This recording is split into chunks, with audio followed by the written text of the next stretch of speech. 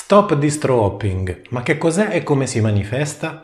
Continui a cambiare distribuzione Linux in cerca della migliore, intrappolato in un perenne loop per mesi o anni? Magari vuoi esplorare tutte le opzioni, ma con così tante distro sembra un compito impossibile. Ecco come trovare una distro perfetta per te, una da tenere installata per anni, pur continuando a provare nuovi software.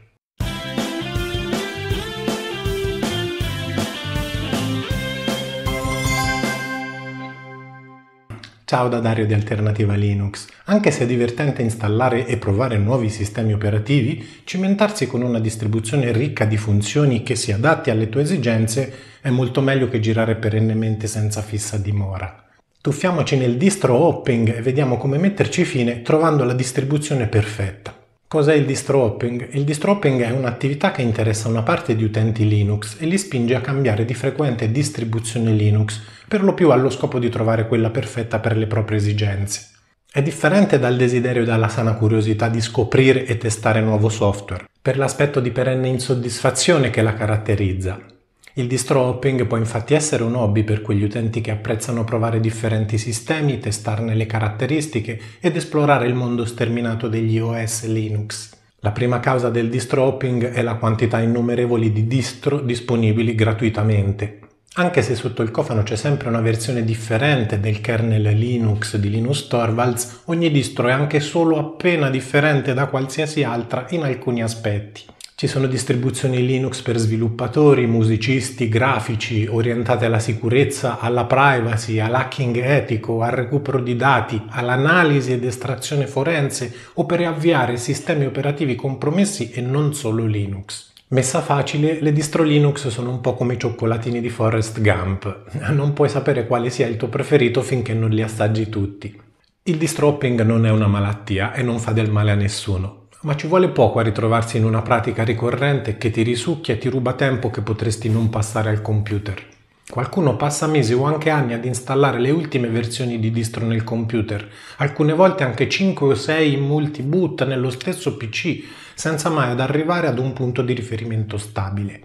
Ed ecco l'importanza di trovare una distro ideale cui ritornare fedelmente come a casa in cerca dei suoi comfort e delle piacevoli abitudini. Domandati perché continui a cambiare distro. Il primo consiglio che può aiutarti a sistemarti con una distro Linux è anzitutto riflettere sul perché salti da una all'altra.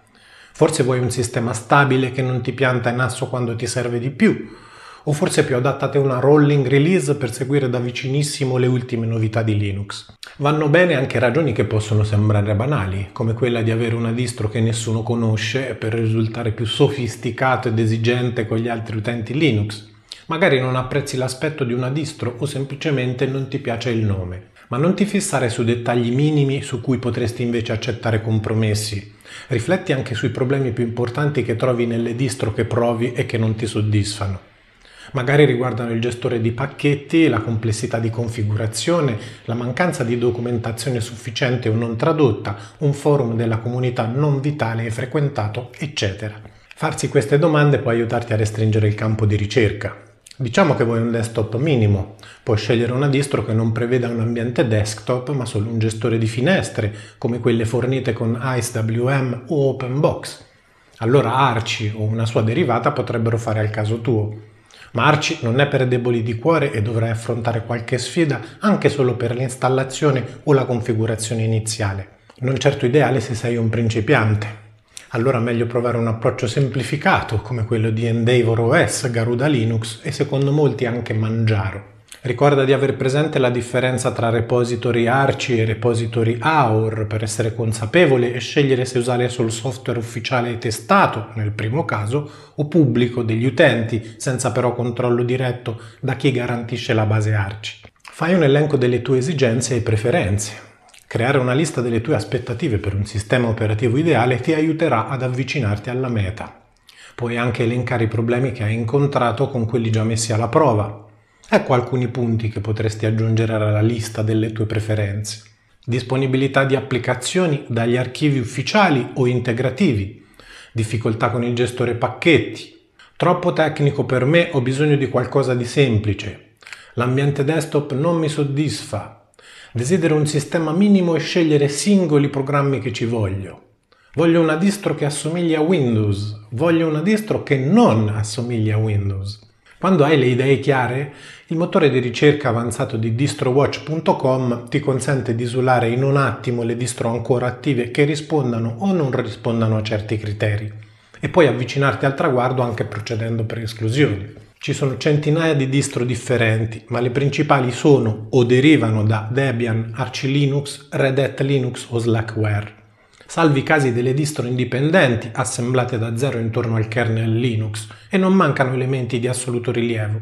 Hai conferma di questo dando un'occhiata alla timeline delle distro Linux su Wikipedia. Questa divisione è giustificata dal fatto che ciascun ramo differisce dagli altri per alcune caratteristiche. Per citare le principali, i gestori di pacchetti, Debian ricorre ad apt mentre Archie e Fedora usano Pacman e DNF per la gestione dei pacchetti. Modelli di distribuzione. Archie Linux segue il modello Rolling Release, il che significa che riceverai aggiornamenti a qualunque programma non appena gli sviluppatori ne rilasciano. D'altra parte Debian e derivate o Fedora garantiscono supporto a lungo termine per le loro release stabili. Un altro buon elemento su cui dedicare attenzione per la scelta di una distro e per fermare il distro hopping è quello di selezionarla in base alla quantità, ricchezza e facilità di consultazione della documentazione ufficiale e se per te l'inglese non è il massimo, se essa sia tradotta e quando aggiornata. Dal momento che è raccomandato scaricare un software dal sito ufficiale, ti sarà facile identificare nel sito una sezione documentazione, wiki, knowledge, tutorial o simili Debian ha una documentazione ufficiale tanto ricca, aggiornata e tradotta in italiano da non avere concorrenti, consultabile online o scaricabile in sostanziosi e ricchissimi PDF. Le distro che talvolta lasciano a desiderare sulla documentazione ufficiale hanno spesso un wiki, una specie di enciclopedia in perenne sviluppo con il contributo non ufficiale ma della sua comunità di utenti. Archie ha un wiki che è una miniera di informazioni per utenti Linux di distro anche differenti da quelle su base Archie. Ubuntu, Linux Mint, MX Linux e PC Linux OS, Linux Lite, per citare solo le prime 5 che mi vengono in mente, hanno un seguito di utenti appassionati molto nutrito. Questo contribuisce a garantire maggiori possibilità di trovare assistenza e aiuto nei relativi forum, perché la generosità di utenti soddisfatti nel risolvere problemi altrui non ha prezzo. Trova l'ambiente desktop per te. Una volta compresa quale sia la distro da adottare stabilmente più adatta a te e non prima, è il momento di scegliere l'ambiente desktop. I più popolari sono KDE, Plasma, GNOME, XFCE, Cinnamon, Mate, LXDE, LXQT. In linea di principio e con dovute eccezioni scegliere la distribuzione Linux in base all'ambiente desktop non ha molto senso. Qualunque ambiente desktop o quasi è disponibile nativamente con le distribuzioni Linux più affidabili. L'eccezione riguarda i casi ad esempio di Solus con il suo Budgie, Deepin con il suo DDE e Pantheon in Elementary OS, che sono il miglior modo per provare con esperienza soddisfacente un ambiente desktop nella distro per cui è stato previsto. Ma anche se l'ambiente che ti è più familiare è una scelta importante, non deve essere questa ad orientare la selezione del sistema operativo. Riuscito a fare un po' di ordine nel caos di idee da distro Hopper? Hai trovato un luogo che consideri casa a cui torni fedelmente dopo le esplorazioni di altri sistemi e software?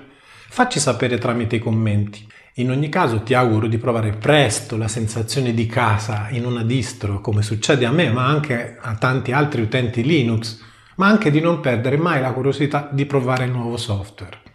Grazie per la visione e a presto!